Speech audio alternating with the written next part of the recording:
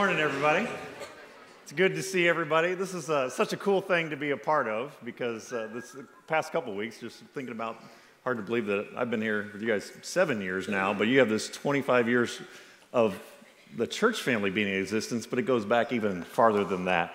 And what I love is when we read through scripture over and over again, we read about the people of God coming together to take time to remember, to take time to reflect on the goodness of God. And I love that they did that thousands and thousands of years ago, and I love the fact that we're going to do that today. That we're going to take some time to remember about how big, how awesome, and how great our God is. And I know a number of you are newer, especially the last few years, uh, and there's going to be so many stories. I know as we were going through pictures, uh, there were so many stories I had never even heard of. Most of these pictures had never seen before. So it was so much fun to to uh, talk with Reed and to hear these stories. And I know you're going to be blessed. And I hope that you leave this morning knowing that you are now a part of this story. This is all of our stories. Maybe you're just getting into this in the last six months or less. Or maybe you've been here the whole time throughout this. But whatever it is, wherever you're at in that journey, in that time frame with that, I hope that you leave knowing that you are part of something very, very special that God has been doing and continues to do and will continue to do. So, uh, obviously, with 25 years of history and everything, I had to have the master storyteller of our church history uh, up here with us. So, you guys show a little love for Reed Juday up here with me.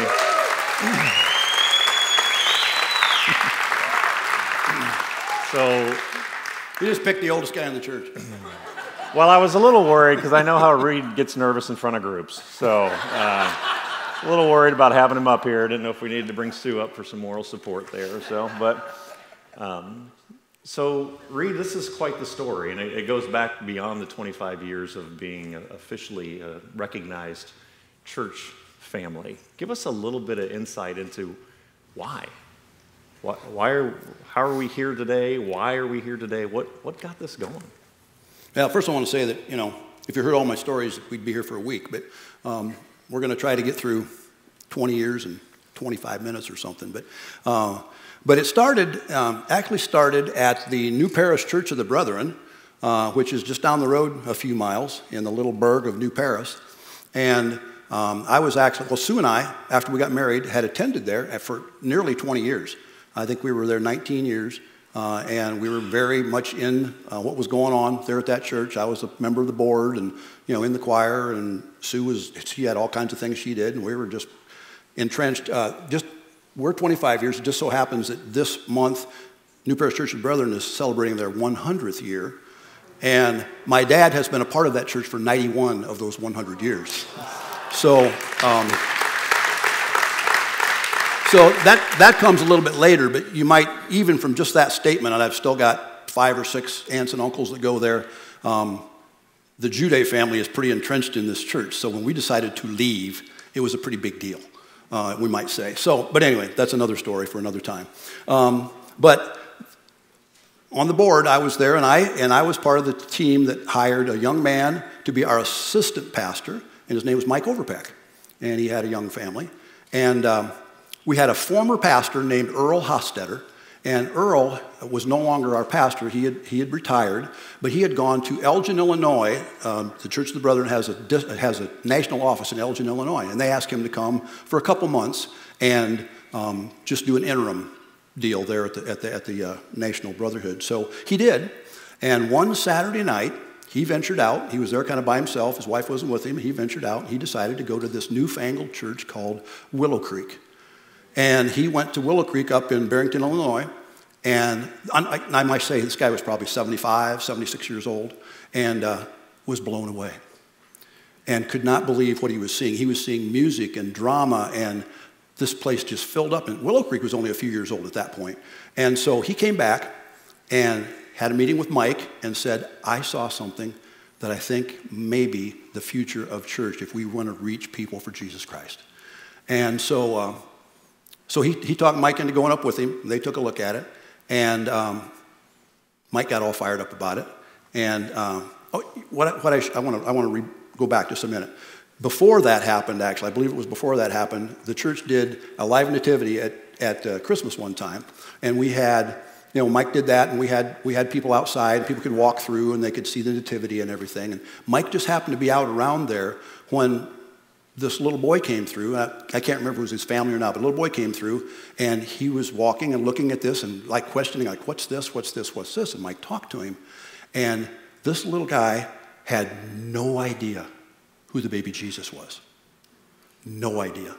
And that, that got Mike in the heart. He's like, we have to do something about this. I mean, we can't be in the middle of the Bible Belt, you know, and have a little guy not know who Jesus is, especially baby Jesus, you know. So, so anyway, that was percolating in Mike. And then Earl came and he said, okay, we've got this going on. And so he went, he came back and he was fired up and he talked to Sue and I. And uh, we, we started talking this over and deciding this is something that we really need to think about because um, Willow Creek was basically designed to be built for a church for unchurched people. It's, it was designed for people who just didn't go to church, didn't really want to go to church, didn't, maybe had had a bad experience. You know, maybe they grew up in church kind of and then had a bad experience and didn't really like it. And, you know, when, they, when mom told them they didn't have to go anymore, they just never went anymore, you know. Or it could be uh, just never had that experience. You had, was in a family that's never had that experience of knowing Christ. And so, uh, kind of like, I guess I would, I would liken that a little bit to the mission field where you know there's a lot of churches that send people overseas to missions. Well when people when we send a missionary to africa or you know or wherever it might be they don't walk in there with a three-piece suit and speak english and sing you know american hymns. They have to relate to the culture. You know in order to be able to reach people for christ in another culture they have to relate to the culture. Well that was kind of part of what willow creek's theme was is that we relate to the culture. And so if we want to reach, if we want to reach the people in our families that don't, that don't know Christ, we want to reach the people in our jobs, you know, in the office, you know, on, in the, on the line, you know, the cashier uh, at McDonald's, I mean, whoever it might be, somebody that you know, generally somebody that you know, if you want to reach them for Christ, and the only way you've got to do that is to try to talk them into coming to your church where you have to wear a coat and tie, which back 25 years ago we did, and um, listen to Aunt Ethel singing way off tune in the choir, and, uh, and, and being, being basically expected to do this and do that, you know, like, well, we, you know, oh, you come here now, we expect you to lead the junior high boys, um, or whatever the case may be. You know, we, we came to the realization that there are a lot of people that we love and know and would like to have reach Christ that will never enter a traditional church. There's nothing wrong with traditional church, don't get me wrong.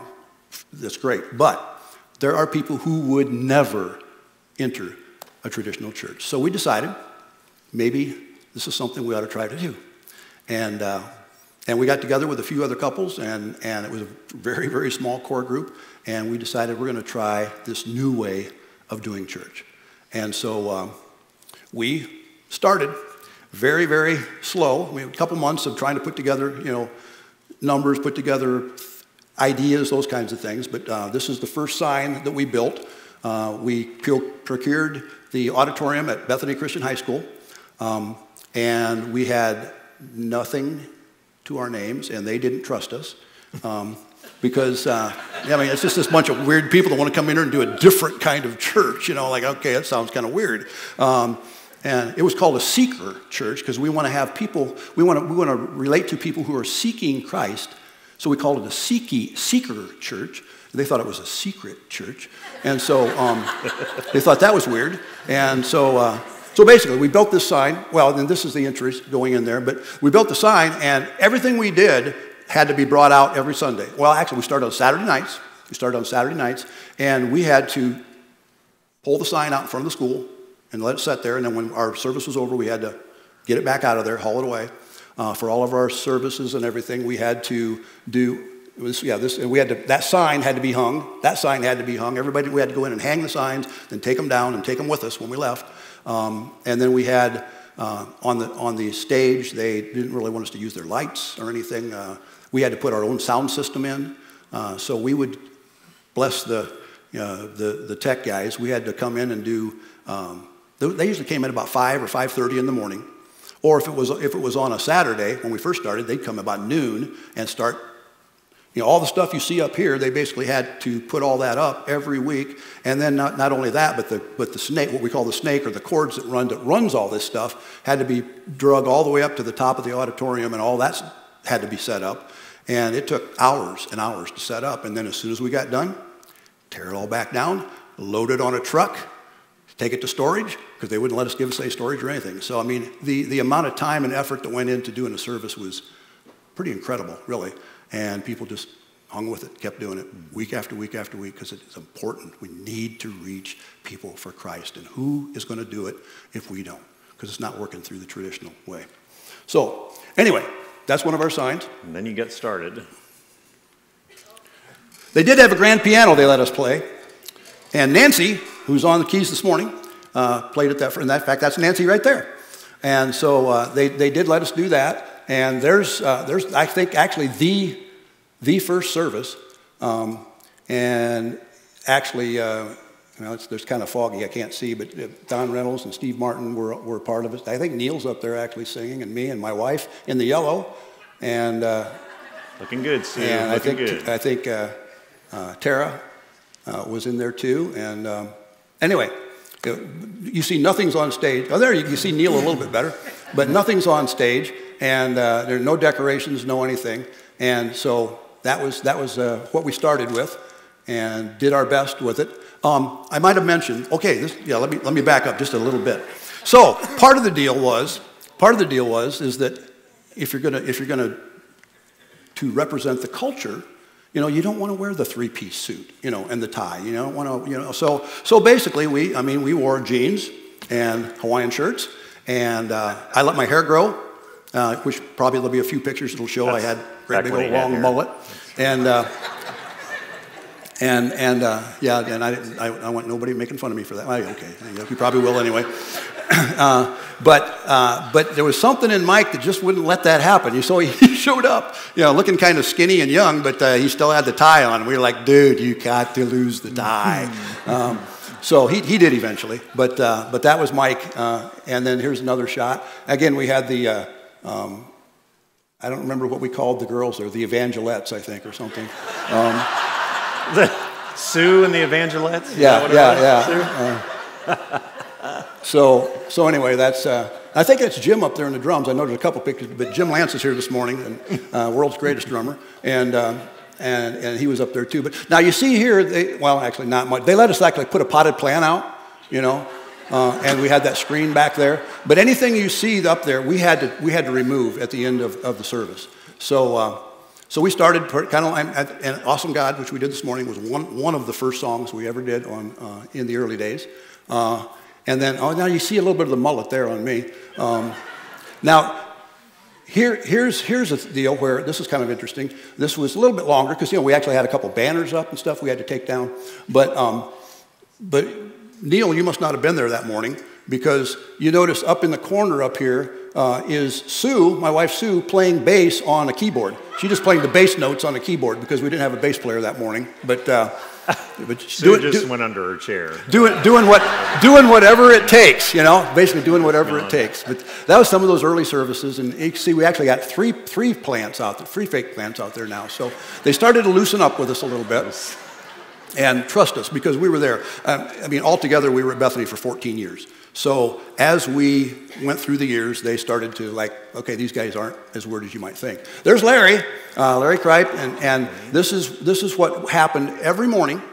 And this was, no, this was every, this, for 14 years, these guys had to set everything up, get in at 5.30 in the morning, set everything up, and then, and then there's Justin, those guys are both still with us, and, and he's setting up. All, you know, he had to come up and set everything up. All those wires had to go in. Everything had to be set up up in up in the loft up there, and then it had to be all torn down and all taken down um, when we were done. So uh, huge. And and here's loading things up and having to haul it to storage. And every every Sunday, everything had to be taken completely out of the out of the building and hauled away. And and for those of you that have been here, there's Tom. Tom, the, uh, the, the, sound guy that was uh, irritating to us all. Um, but he was a good hey, guy. Uh, your mic's still on. Uh, your mic's still on. oh, did I say that out you loud? You said that out loud. Oh. just FYI. Okay. Tom was a good guy, and he was very dedicated. And sometimes I just had to ramp him down a little bit. Um, but anyway, he was, he was there helping too. He was there at 5 in the morning with everybody else and, and setting things up. So, so anyway, that was kind of our life at that point. So you guys had a place to start doing worship together as a church family, but you needed some offices as That's well. right.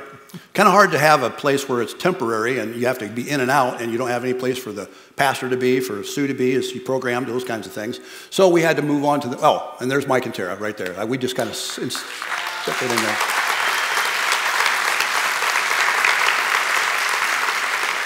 I will, I will say, I, I want to yeah, I interject something here. At the very beginning, uh, and, and uh, Chris didn't even know this, but at the very beginning, there were actually three pastors involved. Mike was kind of the lead pastor, but there was two other pastors, Tim Bartholomew and Ken Swank, and they came on board and helped Mike and, and uh, were you know, fairly deep into it, and it's helping to get this thing started and rolling.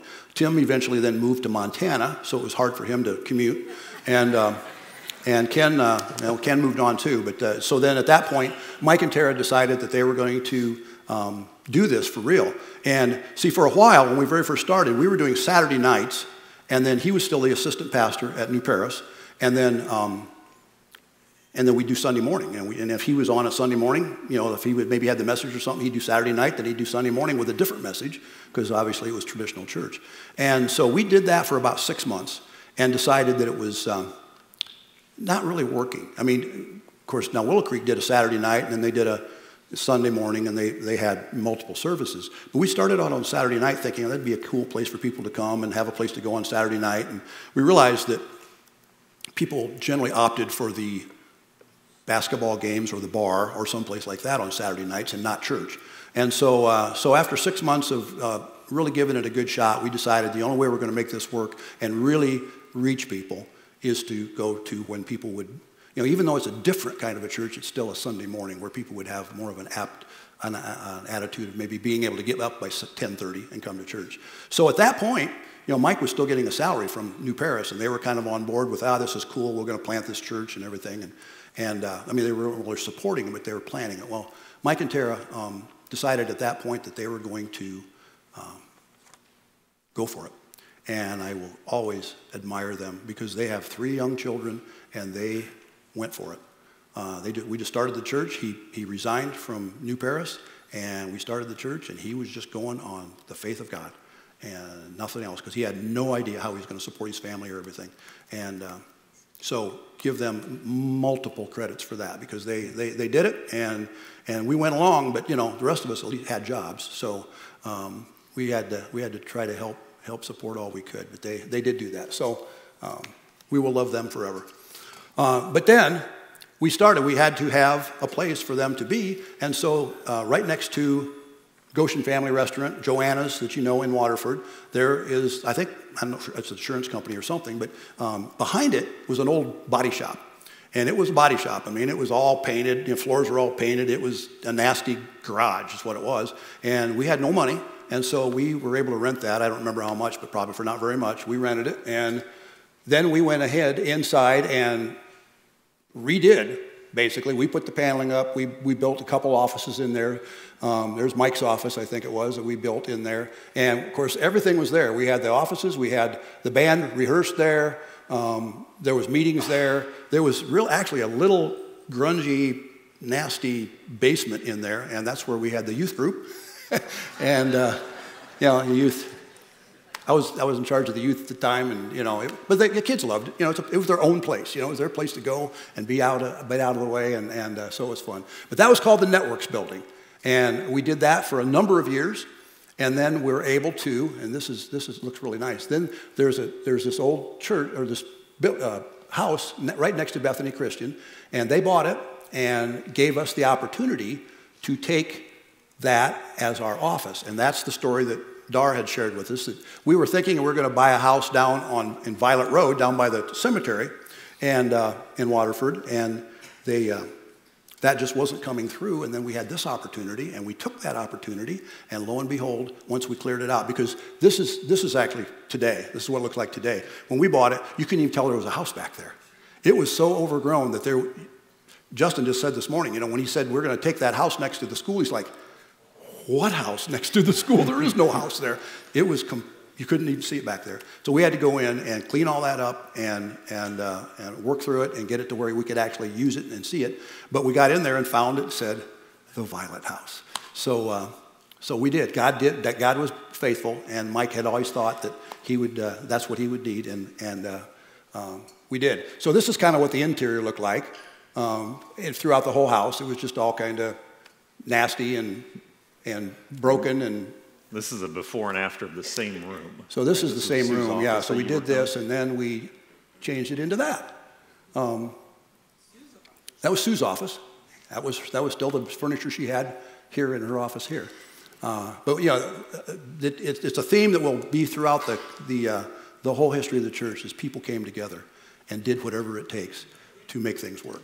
Uh, the amount of hours and time that people, that people have spent at this church in the last 25 years in volunteer service is incredible, incredible. And you can see, you know, and there, now, there, now there's, uh, there's Mike Todd uh, handling a different kind of axe than he, he usually uh, plays up here on stage. But he was, was one of the guys that was there that day when we were trying to clear everything out and be able to even tell there was a house back there. So uh, saw that picture in there. I thought that was a good one, a little, a, a new kind of axe for Mike.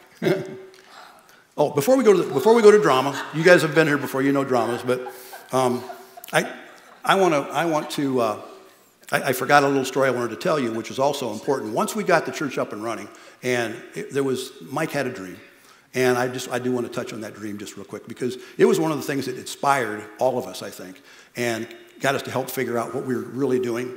And so uh, we had been, I think it was maybe about the time we switched to Sunday mornings, and we had to decide that we, what we needed to do, and we needed to, you know, we needed to leave our churches. That was when Sue and I had to leave the church that we had gone to, I had gone to my entire life, and I had relatives that were not happy and all that. But anyway, um, Mike had a dream, and he, he dreamed that we had started the service, and it started to rain, and thunder and lightning, and we were in the service, and, and it was this huge storm just rattling the windows.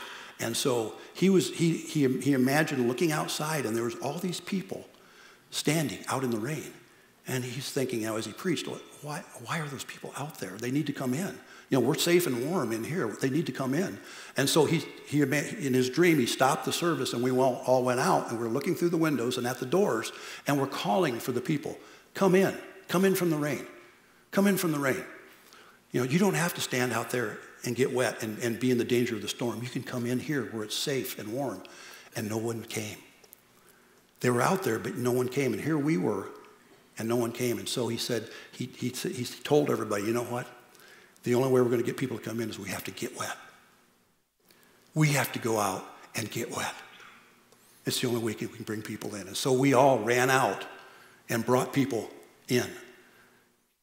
And that dream inspired us, I think, to take off in, in a new level because we have, and, and, and that holds true today. We can't just be here in our safe little warm place and expect people to just walk in the door if we're not willing to go out and get wet for Jesus.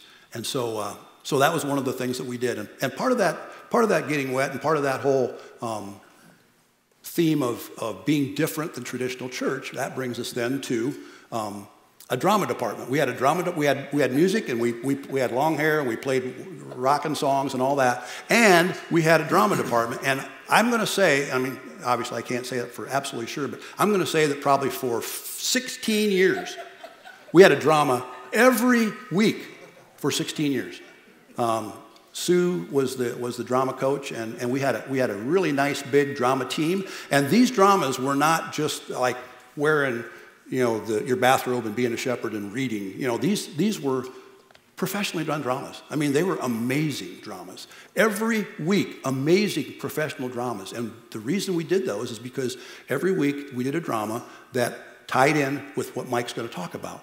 And so we would bring this drama to people, and it would be poignant. Sometimes you would cry your, cry your eyes out. Sometimes you would laugh. Sometimes, you know, it, it, it, it showed, um, you know, uh, passages in the Bible, and all those kinds of things. There, well, now there's Larry. There's Larry as Fred Flintstone, and Chris Wirt right next to him. And then Jim Lance is here this morning, and he's Barney uh, down on the left side there. Um, now, this was probably some kind of a family thing. It, was, it probably had something to do with family, and we used the Flintstones as the family. But you knew exactly what was going on when you saw these dramas. It was like, it was like wow, you know. And then Mike would come out and talk about it, you know, and it was, it was awesome. This is, this is one, I think we probably did a drama one, one Sunday because all the bands got their cowboy stuff on. And we brought this, I couldn't, I couldn't not do this one because Mike's out here actually hanging on to one of my guitars, I think. Mike couldn't play guitar. He had no idea what he was doing. But he actually was out here, and people thought he was playing. And then at one point, Mike Todd, as I recall, slipped behind the curtain, and Mike Overpeck went into a crazy lead, you know. He, he and Mike had like worked on where to hold your fingers and stuff. And so, so Mike was like ripping this thing, and Mike, Mike over, and everybody after the service was like, "Oh my gosh, I didn't know you could play! Oh, why don't you be in the band every week? You were awesome!" You know. it was great. So I think that was the one and only time that Mike was ever in the band, but uh, man, it was worth it. It was fun. Uh, obviously, it must have been sometime around Christmassy time because I see a Christmas tree up there. But anyway, um, lots of great, lots of great memories from that.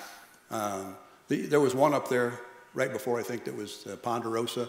Uh, no, yeah, that one. That was that was the uh, that was the, uh, um, the the the talents, the story of the talents in the Bible. And uh, well, Jim and Jody are both in that one too. And uh, Mike Wagaman's in there. And, and, but anyway, it was it was set kind of on the Ponderosa, if you will, you know. And uh, it talked about you know the boys. One one boy had ten. Actually, it wasn't talents; it was nuggets. One boy had ten nuggets, and he made ten more out of that. One had five, made five more out of that. But they were actually nuggets, and we used chicken McNuggets. And then Jim, again, who's here this morning, uh, was was Archibald, and he's the one that just was, was, was afraid that he was going to uh, not, he was going to lose his nugget. So when, when Ben, who's God, says, Well, what did you do with your nugget? He says, Well, I was just afraid that I would lose it, so I kept it. I got it right here under my hat, you know. And, uh, but anyway, it's a great way to tell that story and know exactly what the Bible means. You know, I mean, it was just, it was amazing. So anyway, we, had, we did dramas every, every week. You ready to be in the remake of that, Nate? Maybe, uh, okay. Jeremy, right there.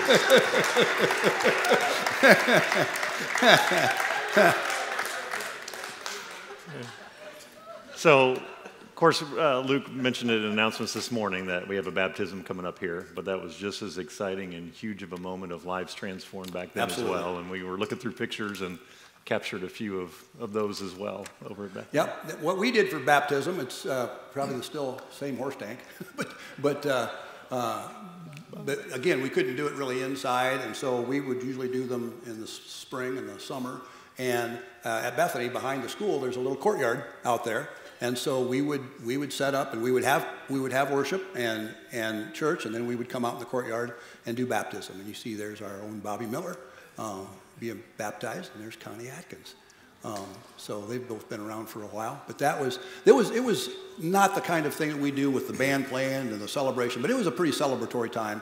And it was, of course, you know, baptism is always my favorite time. Every time we do baptism, I, I get all weepy and it's awesome. So now you guys uh, went all out one time, did baptism a little bit different. Yes. And uh, decided to. Oh wait, this wasn't baptism. Oh, okay, my, my bad, my bad. Yeah, again, you can see you can do whatever it takes. That's again my wife, uh, which is probably completely embarrassed right now. But uh, you know, if you're part of the staff, you uh, you do whatever you have to do. So this was at our 10 year anniversary. Actually, uh, we did a 10 year anniversary. We had a carnival, and we had all kinds of fun and food and dunk tanks and and other kinds of games, and you know, the band played, and so uh, that was from that. And I think this is now those of you who know Mike.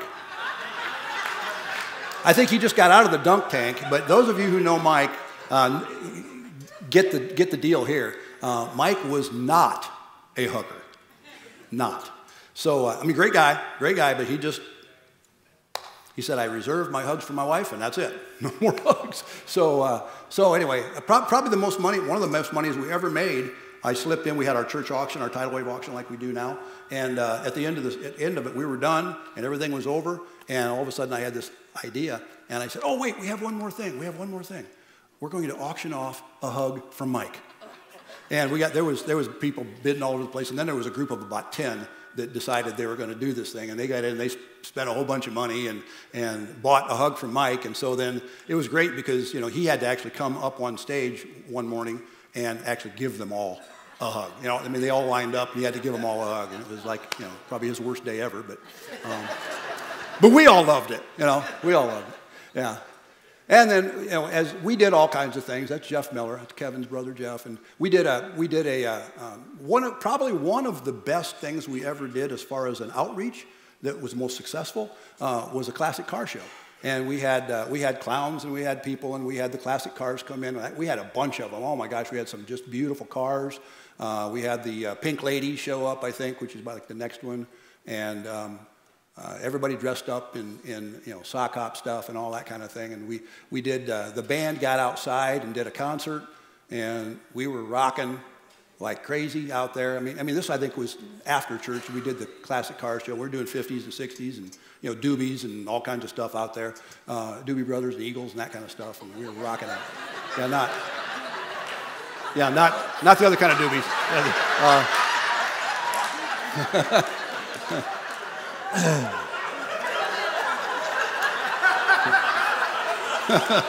No, we didn't get that far into the culture.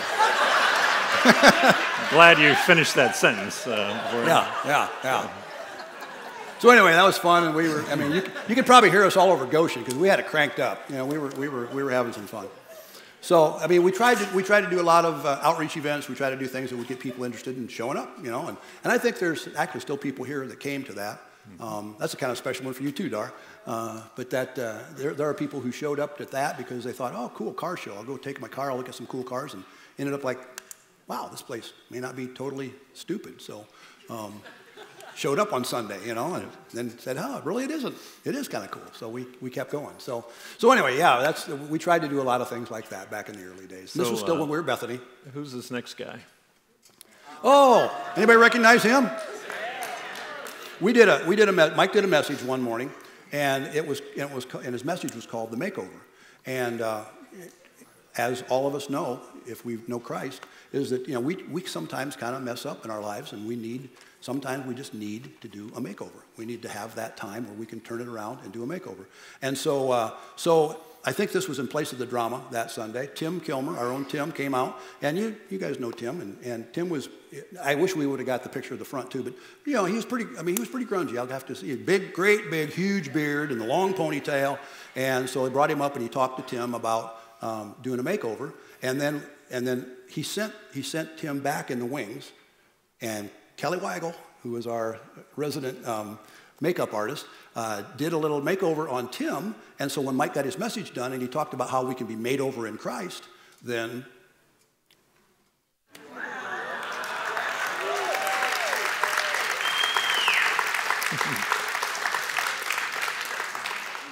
Look pretty good, huh? but you know that that object lesson is was so important, you know, to let people know that you know you can be made over, you know, and, and Tim Tim showed it showed that uh, through that through that message, which was good. And that that's the kind of things we try to do with the dramas too. Yeah. So you had so many cool memories of that time there at Bethany, but at some point God put something on your heart and a group of people's heart here for something that was next. What was that all about? Yeah, like I said, we had 14 years at Bethany. So that means 14 years of getting equipment out and putting it back, you know, getting signs out and putting them back. And, and um, you know, you begin to get weary, although we were still going hard at it. But we started to have that dream. You know, God started to put that dream in our heart that maybe we could have our own place sometime. You know, maybe we could do that. So we, we started looking around. We looked at some factories. We looked at some uh, buildings. We looked, you know, we went around and looked at a variety of places, and none of them just seemed to be right. Um, so we were getting, you know, like, okay, Lord, what, what's next? And Mike um, told me, he called me one day, I think it was on a Monday, and he said, hey, you know, there's going to be a land auction and uh, Kircher's Orchard is selling off some of their property. And, and the land auction, but the land auction, he said, I didn't see it till now. Land auction's on Thursday. And he said, you know, it might be worth taking a look at. Well, from Monday to Thursday, you might think there's no Sundays in between there. So there's no place for us to actually talk to the church about it or anything. So, so I drove out by, and, and uh, it looked like a really nice piece of property. Big rolling, you know, a little bit of a hill, apple trees all over the place. And uh, so I called um, a few of my friends and said, I think we ought to just show up at the auction, see what might happen, you know. And, and, and we talked about the fact that, you know, we can't really meet with the church. We can't talk to anybody about it, you know, or anything. We're just going to, but, but it's Thursday. I mean, you know, either we go or, or, it's, or it's gone, you know. So Greg Bernheisel was one of them. Greg's here this morning. And uh, Jack Rogers and Dave Rayburn. I know Dave's here this morning. And um, uh, let's see, who else was there? Mike Wagaman. Mike Wagaman, yeah. So uh, we met, um, we met over at, well, Mike Overpeck was with us too. And we met at that Violet House that I had shown you a little bit ago, uh, a good hour or more before the, uh, the auction. And we said, we just prayed. I mean, we basically just sat in there and prayed. You know, God, you know, we don't know what we're doing. None of us had ever been to a land auction before. And we're like, we don't know what we're doing, but we're going to go and, you know, whatever happens, happens. And so, uh, so we did. We prayed for an hour or so. And we went over there and we sat in that auction. And it was weird. I mean, it was like if you, some of you maybe been to land auctions, but it, you know, it, you know, there was lots of acres. We didn't need all of them, and people were trying to buy them individually, and, and it just it was very very. I could go a long story, but it was very confusing. And so finally, we made a bid on 18, 18 and a quarter acres, I think it was. We just said, you know what, we're going to go for this. And uh, of course, we're like, well, what happens if the church doesn't want it? Like, I don't know, you know, I don't know. we're going to we're going to make a bid on it. So, so we got together, we decided we're going to do that. And so we made a bid for 18 acres. Well, unless the whole thing is in that package, it doesn't go. So it sat there for a long time. And we had been told by the auctioneer that there's two guys here that want the whole thing. And they're just going to sit around, they're going to wait to see what, what it goes for. And whenever it gets to the end, they're just going to make a bid a little bit above that and they're going to take it. He said, I almost guarantee you this, you're not going to have an opportunity for this because they're going to, they're going to take it. And the, prop, the property value was decent, you know, so they're just going to, they're just going to see what the, what the going rate is, take it as low as they can, and one or the other of them we'll take it. And so, uh, but we made our bid, and then um, a gentleman named Tim Martin uh, bid on everything else. So, that we, so he actually completed our package. So it, so it could actually go in as an actual bona fide bid. And uh, thank God for Tim. And so uh, we were, we kind of, that was like the last, one of the last bids, but it was, it was too low and they let it click off. And so uh, they got to the end, and of course, Phil Hahn was the auctioneer, and Phil was kind of expecting one of these two guys or both of them to start up in the bids because that's what they came for. Well, it didn't happen. So it got down, and he said, okay, well, we're going to, you know, we actually set a clock, and we're going to set the clock, and we're going to count it down for two minutes, and if nobody else bids, it's your, you know, you win the bid. So man, that was the longest two minutes in history. Because um, it kept clicking off, and we kept knowing these guys are going to bid. These guys are going to bid. They're going to, I mean, they're going to go, you know, 10,000 above us or whatever, you know. And uh, it clicked down, and it clicked down, and it clicked down. And it rang, and we had won the bid. And uh, so, but it, but, but, and so we're like, uh, what happened? uh, you realize we just bought like 18 acres of ground and we don't know if the church wants it or not. We have no idea whether the church wants it or not. But it also said this the bid's too low. It's, it's below it's below what uh, they said was their minimum bid. So uh, we had to wait around and they called and talked to the owners and went back and forth, back and forth. And, and uh, they came out and they said they, they will accept that offer. And so, uh, so we then had to come back to the church. We put together a letter. In fact, that letter is up here if anybody's interested, and the pen we signed it with. And uh, we came back to the church and had to say, um, well, here's what's happened. a few of us got together and bought some property. We thought it'd be really cool for the church, and if you guys are interested, you can buy it from us. and if not, then we'll do something else with it.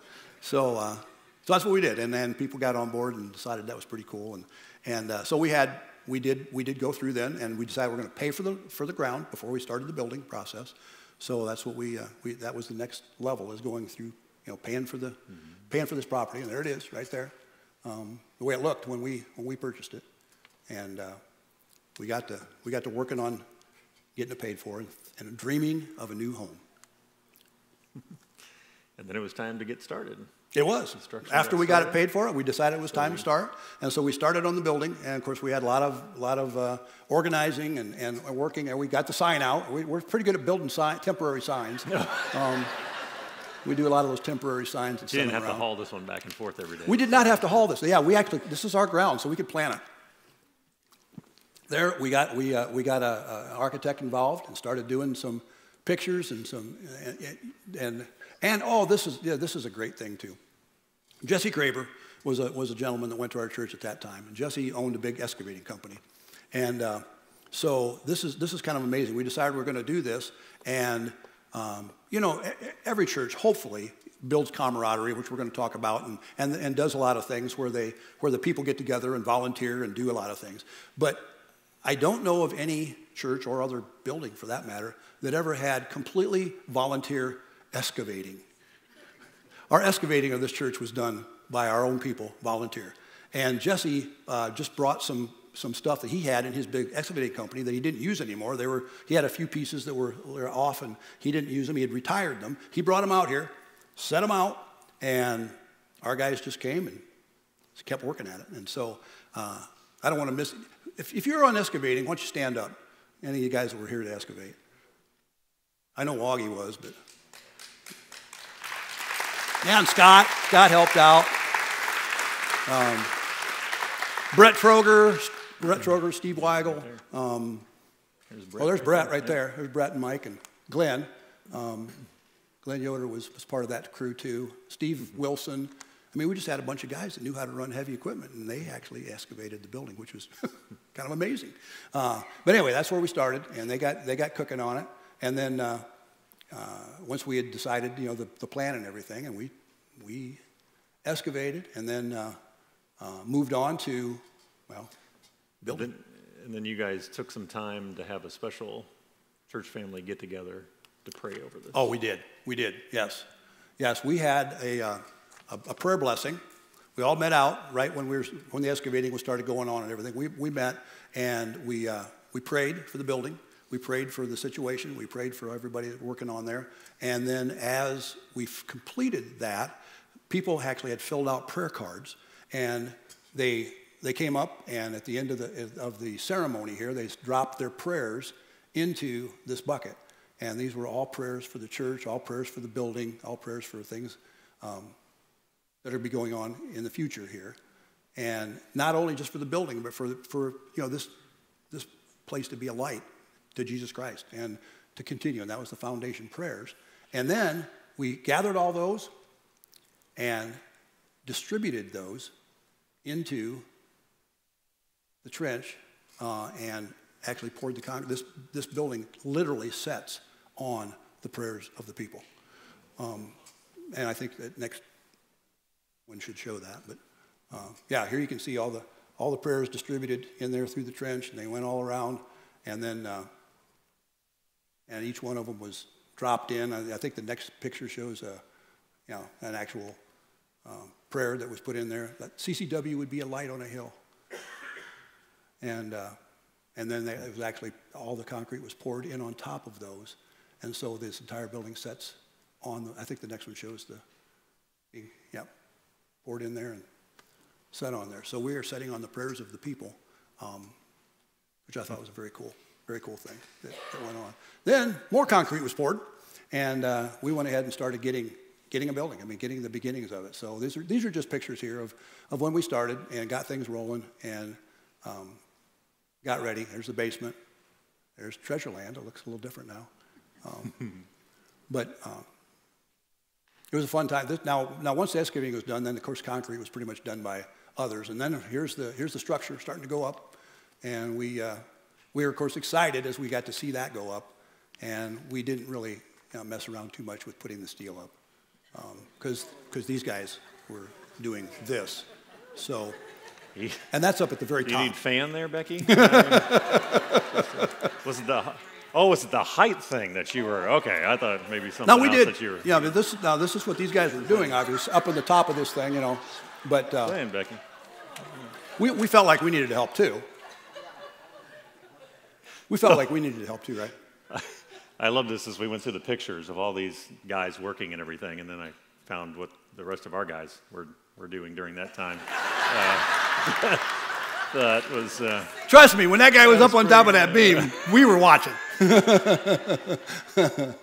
now, this is where camaraderie started to come together. They got this thing up, and we, we again, the excavating was done, and then we called, we called the guys in and said, okay, it's ready this half of the roof is ready to go, and these guys showed up, and um, essentially in one day, um, we got that roof on. I mean, you can see there's just guys all over the place. We've, we've got guys that showed up when we have done that from the word go, as people are willing to come, willing to be a part, and willing to get going.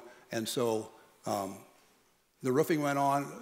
Well, and there's, there's uh, Lee Borntrager. We got to give him a lot of credit too, considering Lee owns a roofing company. He was very helpful um, in helping the rest of us that don't do it every day.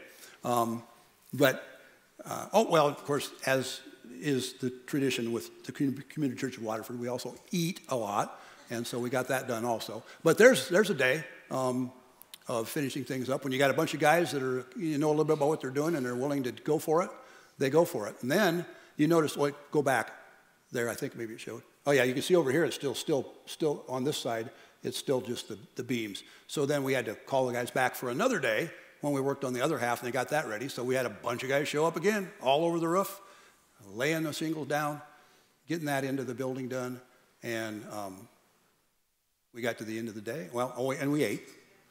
Uh, we ate, and, and uh, there's day two when we finished up that end of the building. Um, and then we had, a, we had an open house uh, at one point just to let people see. Well, that's what you're looking at right here. Um, before, the, you know, that's the stage, and you see in underneath. There's actually a lot of storage under the stage. You can kind of see some, some of it right there. And there's oh, there's guys, yeah. and then and then again, as we as we continued to work in the building, the amount of time that was spent um, here was amazing because we've done a lot. Quick story on this. Um, now this is not part of that, but but uh, when when we got to the end, um, the ceiling's all blacked out, and uh, all the piping and stuff up there was was galvanized or whatever. I mean, you could see you could see that. So as I recall, it was Justin and Dave Rayburn. We had this big lift, and we sent them up there with black spray paint, and they sprayed all the pipes and everything, so you just you know blacked out up there.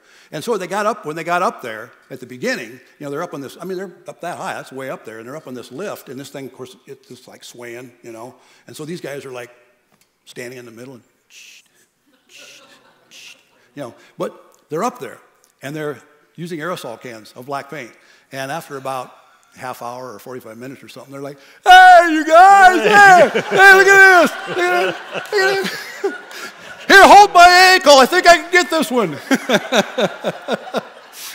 so finally, we're like, okay, these guys I got to come down. So, so they came down and they were like completely covered, uh, you know, completely covered with black, you know, and giggling. Oh my gosh, they're giggling and just having the best time. And like, okay, it's, it is definitely time to get these guys back to reality. All right, so we go from doobies to aerosol. Yeah, yeah. Well, see, yeah. Okay, just wondering.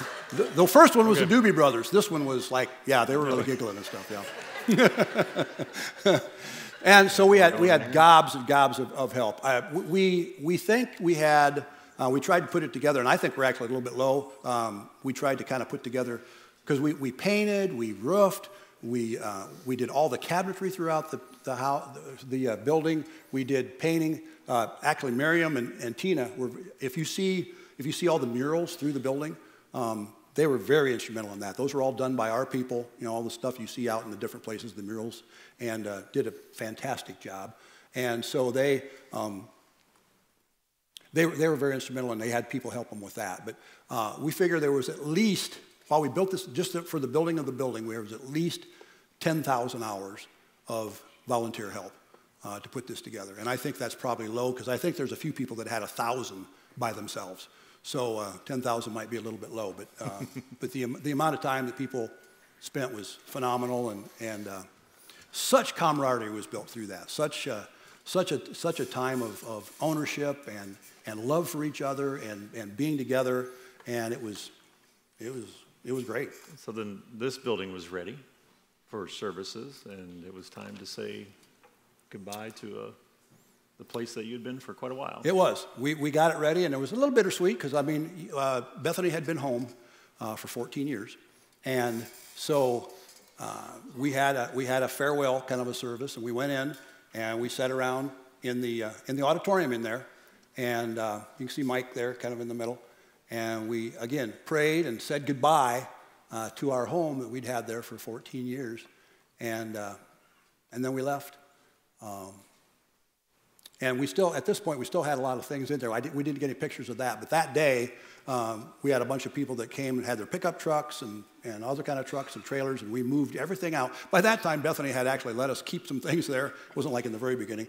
So we had moved all of our decorations, all of our signs, everything. We moved out that day and, and put them in pickup trucks. And then there was a picture I should have put in there. It was a picture of Kathleen switching off the light for the last time. It's kind of a kind of a sad little thing where she switched off the mm-hmm. light and we darkened it and that was we walked away. And then every, everybody brought all those truckloads of stuff and we came out to the new church and uh, started putting them all away. And we are to where we are today. It looks pretty much like it does today. So uh, uh, the other bittersweet thing that happened after the church was built is that, and I guess that's a, it's pretty fairly typical. Um, is that our pastor of 18 years, who had uh, given everything, everything in his family to this church, um, kind of succumbed to burnout, I guess you might say. And he decided it was time for him to mo- move on. And, then it, and uh, I guess that is very typical when you have a pastor that goes through a major, major building project. That it, uh, sometimes that's uh, so. I mean, he was with us for a while, but um, but he decided it was time to move on, and so uh, we will always love Mike and Tara. We will always uh, have the greatest respect for them because they brought us to this point. Um, and um, it, it's, it's, it was a wonderful, wonderful experience uh, with them. And, and the, the, to see them just give it all, give it all. But then, uh, then we got this guy. Yeah, so. Sorry.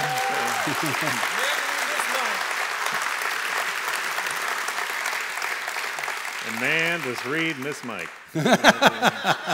and, uh, and actually, there's a, really, there's a really great story that goes with, uh, with us uh, finding this guy, too, but that, that's, for, that's for another time. We can do that next week. Yeah, next week. How we, do, how we talk about the present next yep. week. Mike, you know, he, he, would be, he would be part of the present time. Yep. So, so anyway, um, that's, uh, that's kind of where we came from. Like I said, there's tons of stories I could still tell, but that's, uh, it gives you a little bit, and I like a lot of you maybe seeing some things for the first time. So uh, part of where we came from, and it's just important to us to continue to shine the light of Jesus Christ. Um, it really, none of that makes any difference if we aren't reaching people for Christ. And that's, that's who we are, that's what we're about, and that's what we want to continue to be about. Uh, every week, uh, find those people who are seeking and find a place for them to come and be able to praise God and worship and get to know Him better. So um, I think. Well, it's quite appropriate that you're leading us in this final song because you've told us a lot of history today, but I know you believe with all your heart and soul and mind that our best days are still ahead of us. So why don't we go ahead and give some love for Reed for all that sharing there. And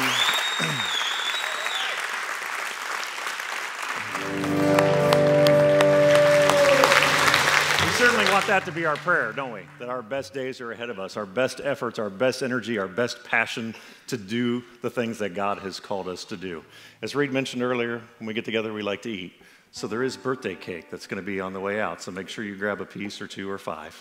Uh, so don't let my little nine-year-old get one though. She's been asking for five pieces all morning already. So don't don't let her do that. So, uh, but let's go ahead and, and close in a word of prayer. God, we are grateful for the chance that we have had this morning to come together as your church family, to be able to celebrate what you have done.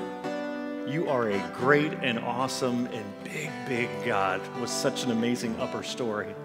And we are so grateful for how you have allowed us to be a part of this story in particular. And for those like Reed who have been here since the get go and have been around since the, the vision was birthed, and for how you moved in Mike's heart and the other pastors' hearts and other people to come alongside and form this group that, that started this dream that you put on their hearts. Everybody who is here today has been blessed because of their obedience. So we thank you for that, Lord. And Lord, we know that just like today, as Reed shared stories of what they hoped it would be for, what that would be like when they got started, they would have never been able to dream some of the stories that we could tell today, 25 years later. And God, that's the same thing that we want. We want our best days to be ahead of us so that in another 25 years, when this church family is celebrating their 50th anniversary, there are going to be even more amazing stories of how you showed up in people's lives and did those things that only you can do. So thank you for the chance we had today to spend some time remembering and reflecting on your goodness. We look forward to the next two weeks as we look at where we are and where we're going, God. We just pray that you continue to show up and do your thing. In Jesus' name we pray. And all God's family said, Amen. Go get some cake. Nate, no pushing. All right? No pushing. Love you guys. We'll see you next week.